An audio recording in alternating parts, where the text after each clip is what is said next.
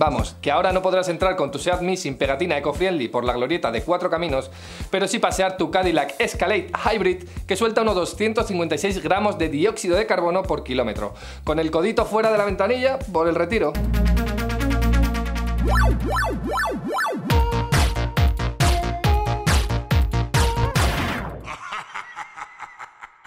Un criterio de etiquetado que ya levantó muchas controversias y que hace aguas al regirse principalmente por un asunto de pura mecánica en el vehículo y no tener en cuenta lo que de verdad prima en materia medioambiental, el nivel de emisiones de dióxido de carbono. Es el caso de los llamados mild hybrid o de hibridación suave, vehículos con un sistema microhíbrido de 48 voltios que entran dentro de la etiqueta eco, pesando 2 toneladas y media, mientras no puedes amortizar tu Ibiza marronero de finales de los 90 por la castellana a pesar de que pese menos que un pollo y tenga un motorcito de 60 caballos.